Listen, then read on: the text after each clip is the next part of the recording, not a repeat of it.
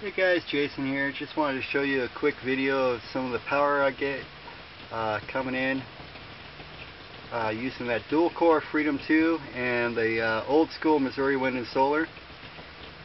Um, you see the wind speeds there, the volts and amps. Those volts and amps are being spread uh, to the battery bank which is down that direction and up to the grid ties and those grid ties are hooked up in parallel, positive, positive, positive, all the way through. And then negatives all hooked up as negatives. But uh, let's watch a little bit of the power coming in.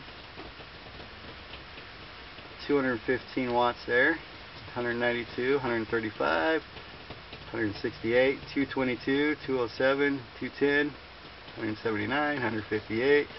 Look at the amps and volts. They're running pretty good. This is definitely going to be charging my battery bank, so that's cool.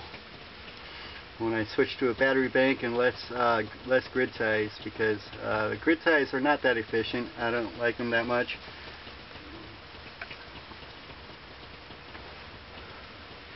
End up losing a lot of power going through the grid ties, I think, instead of just going through a battery bank and then using power off the battery bank.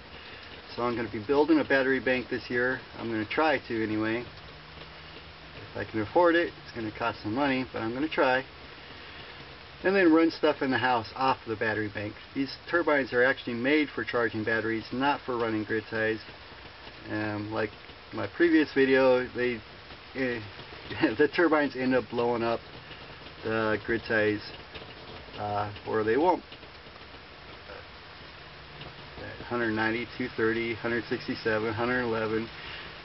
it's like decent power for uh, splitting it to the battery bank and to, uh, you see down here, this is my uh, single core uh, little 500 and the battery bank's at 13 volts right now.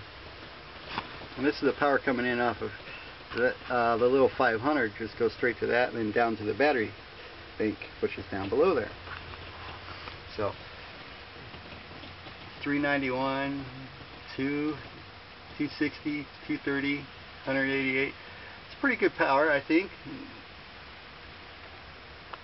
So, uh, anyway, yeah, I just thought I would shot, uh, get you a shot of some power off my system.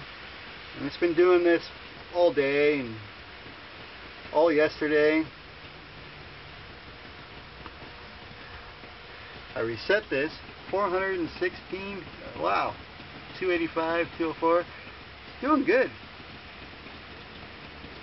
This is the only way I figured out how to run grid ties safely on my uh, turbines without them blowing up. Is by having it hooked up to a battery bank and uh, using that uh, battery isolator for charging two battery banks at the same time but instead of charging two battery banks I charge one battery bank and the other leg goes up to the grid ties. It's the only way I can keep my grid ties from blowing up. Anyway, battery lights flashing. Let me show you outside. I would get you video of the turbines except for it's pitch black out here.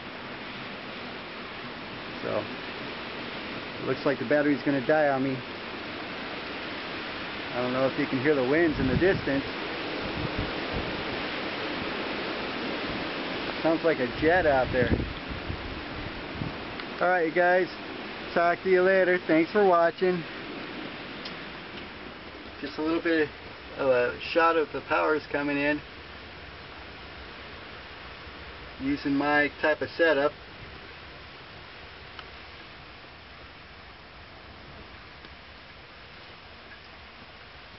So it does work.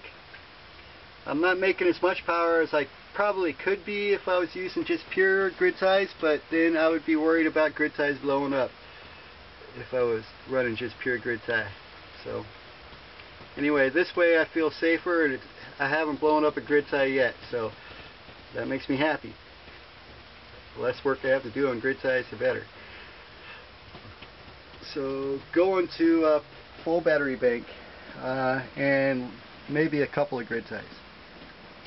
Alright, well, talk to you guys later. Mm, bye-bye.